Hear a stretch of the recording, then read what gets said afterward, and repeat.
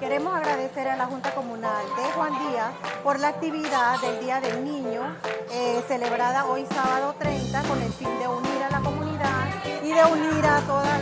todos los vecinos en un rato ameno, un rato agradable.